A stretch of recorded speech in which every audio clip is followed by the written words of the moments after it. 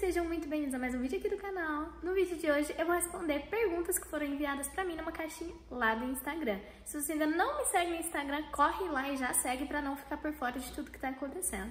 O Instagram traz a oportunidade de a gente ter uma conversa um pouco mais direta, né? A gente consegue mandar mensagem, tem um canal de transmissão onde a gente troca bastante ideia. Então se você ainda não me segue, não deixe de seguir. Agora bora logo pro vídeo. A primeira pergunta que eu vou responder é da Alice Cassiatori.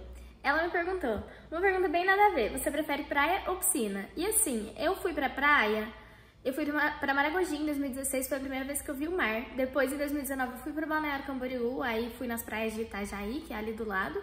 E depois, em 2022, eu voltei para Balneário Camboriú, mas a gente foi numa temporada de muito frio, chuva, passou um ciclone enquanto a gente estava lá. Tem até vlog aqui no canal, tem vários vídeos de Balneário Camboriú. Então a gente acabou que foi até a praia, mas não entrou no mar, porque aí a gente foi só na praia de Balneário Camboriú, que não é uma praia própria para banho. E como tava chovendo, enfim, a gente foi mais à noite, passeava na orla. Mas ainda assim, depois de toda essa enrolação que eu acabei fazendo, eu prefiro praia do que piscina. Eu amo piscina, eu amo nadar, no geral. Então, tipo assim, estando com água em volta, eu tô feliz.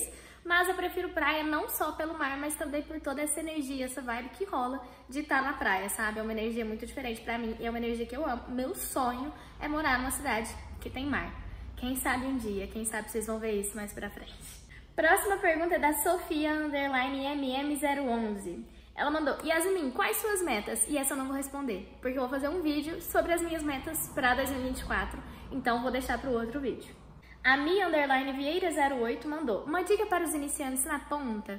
Gente, eu recebo muito essa pergunta e a dica que eu dou é faça fortalecimento. Faça exercícios específicos de fortalecimento, mobilidade de tornozelo e principalmente, gente, duas coisas são as principais, que é fazer um fitting. Tipo assim, se você vai começar na sapatilha de ponta, faz um fitting. Eu sei que em muitas cidades não tem. Eu sei que, tipo assim, é um gasto a mais que vai demandar mas eu conheço lojas que fazem esse trabalho online. Eu, por exemplo, fiz online. Quando eu fiz, não foi parceria, não foi publi, não foi nada, eu paguei mesmo. Fiz o fitting e pra mim foi maravilhoso. Foi um divisor de águas. Se você tá começando, recomendo que você faça um fitting pra você não ter que passar por esse processo de sofrimento na sapatilha de ponta, porque o começo das pontas já é difícil, né? Já é trabalhoso. É uma coisa muito nova. Então, se a ponta ainda não for a ponta certa pro seu pé, vai dificultar tanto, vai acrescentar uma dificuldade extra que não tem necessidade. Então faça um fitting para saber a ponta adequada para o seu pé. Tem muita loja que diz que faz fitting, loja física, e não faz. Eles veem lá a sapatilha que eles acham que dá certo mais ou menos, mas não é um fitting mesmo.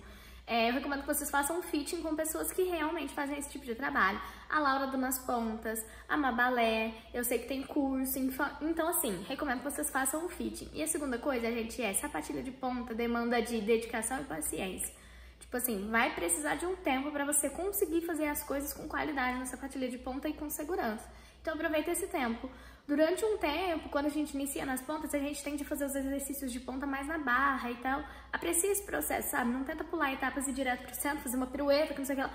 Não, calma, vai devagar, vai pegando vai sentindo, vai criando essa técnica de pontas, porque antes de ter as pontas a gente não tem técnica de pontas, então desenvolva a sua técnica de pontas da mesma forma que você de desenvolveu a sua técnica normal. Então, tipo, tenha paciência de que é um processo em progressão, ele vai acontecer devagar. Então tenha paciência, não queira do nada já tá fazendo 30 piruetas. Acontece com algumas pessoas que têm um pouco mais de facilidade, enfim. Mas de maneira geral, ponta leva tempo. Então tenha paciência com o seu processo e faça um fitting. Agora, o arroba gbrl.123 underline mandou qual o seu colã favorito? E, gente, eu não sei, de verdade. Inclusive, tem um vídeo da minha coleção de colãs aqui no YouTube, mas tá bem desatualizado. Se vocês quiserem, eu posso fazer um novo, porque, gente, eu tô com tanto colã diferente agora que eu, eu acho que daria umas três partes, de verdade. Então, se vocês querem vídeo mostrando a minha coleção de colãs, eu mostro aqui pra vocês. Mas eu não tenho um favorito.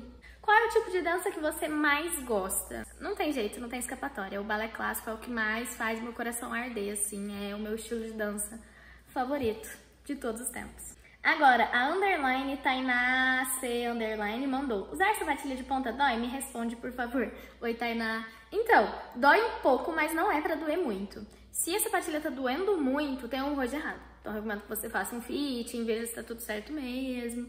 Porque, assim, ela dói um pouco por conta da pressão de estar tá usando a sapatilha de ponta, você colocar todo o peso nos dedos, no tornozelo, no calcanhar, enfim, os dedos às vezes ficam um pouquinho amassadinhos de ficar tanto tempo nas pontas. O tornozelo às vezes você sente um pouco, às vezes sente um pouco a sola do pé. Mas se sente tornozelo, sente um pouco sola de pé, recomendo fazer fortalecimento, porque aí é falta de força mesmo, falta de força, falta de mobilidade. Agora os dedinhos eles ficam um pouquinho amassadinhos na ponta, mas não é uma dor, é quase uma pressão de estar tá, tipo um pouquinho apertando assim, sabe? É só isso. Se tá fazendo mais que isso, tá doendo tornozelo, tá doendo sola de pé, tá doendo os dedos, tem alguma coisa errada. A sapatilha provavelmente não tá adequada, às vezes tá colocando mais pressão no dedão do que nos outros dedos, às vezes tá apertando, às vezes precisa usar uma dedeira, às vezes precisa trocar a ponteira, às vezes precisa trocar o modelo da sapatilha. Então, assim, não diria que é dor, diria que é um incômodo. O que dói é que às vezes dá umas bolhas, às vezes de atrito, sabe?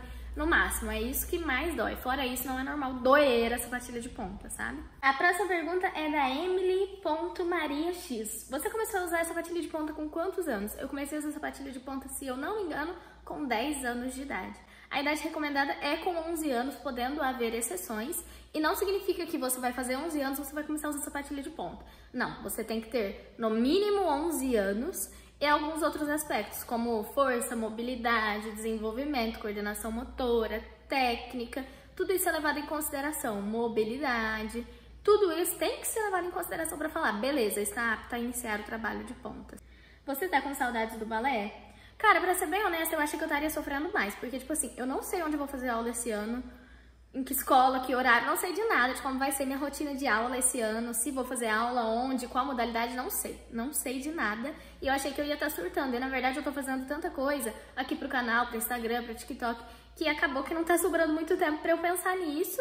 E assim, eu quero fazer uma aulinha, tô com vontade de fazer aula, mas como eu tenho gravado muita aula, feito muita coisa, eu acabo fazendo junto. Então eu tenho feito aula em casa. Então acho que é por isso que não tá tão gritante assim. Isabela de Oliveira 20 me perguntou, qual o seu figurino mais caro? Ele não tá aqui em casa, senão eu mostrava pra vocês em vídeo. Mas o figurino mais caro que eu já tive foi o que eu usei quando a gente remontou uma suíte de Le Jardin. E aí a gente pegou, a escola fez esse figurino, que eu vou colocar a foto aqui. Fez esse figurino que eu acho que foi baseado, na verdade, no figurino de, me, é, de Sonho de uma Noite de Verão, Midnight Summer Dream. E ele é maravilhoso. Gente, ele brilha, ele brilha num nível absurdo. E ele foi 600 reais. Apresentação favorita. Chama de Paris, na apresentação da Escola de Danças Karina Castro em Piracicaba, que eu dancei como bailarina convidada. Essa foi a minha apresentação favorita, de todas.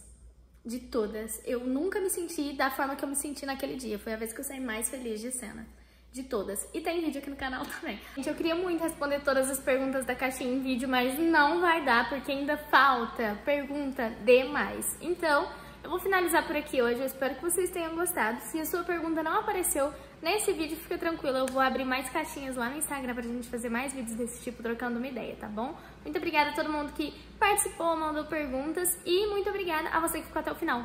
A gente se vê no próximo. Tchau!